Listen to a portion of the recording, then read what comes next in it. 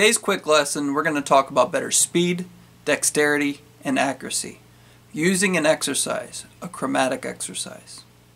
Whether you are new to playing the guitar or a seasoned veteran, your ongoing pursuit is improving your speed, dexterity, and accuracy. One of the most effective ways you can progress in this ambition is through utilizing exercises. The first exercise I learned was a simple chromatic scale pattern. This is how it goes.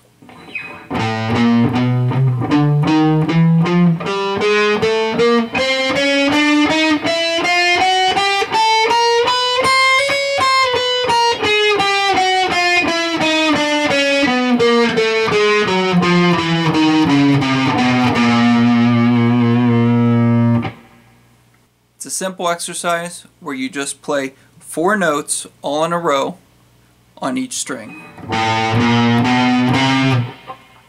And then switch over to the next string. Next string. And so forth until you're to your last string.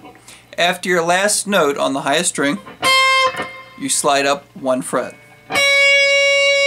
And then work your way backwards, four notes per string.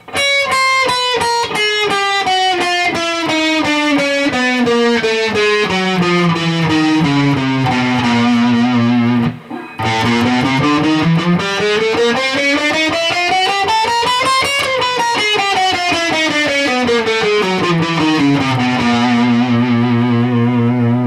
maximize your benefit from this practice drill, I recommend playing it with a metronome or a drum pattern. There are four notes per string, which makes it optimal for practicing quarter notes, eighth notes, and sixteenth notes.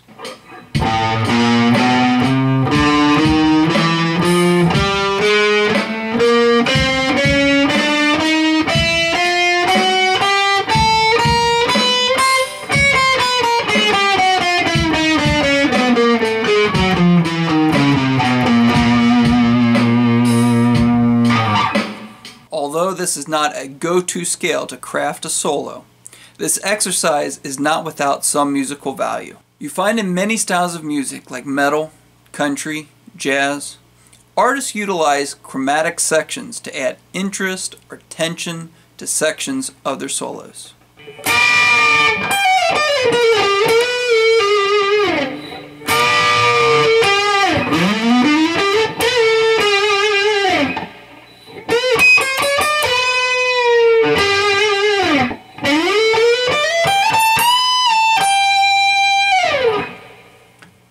Watching.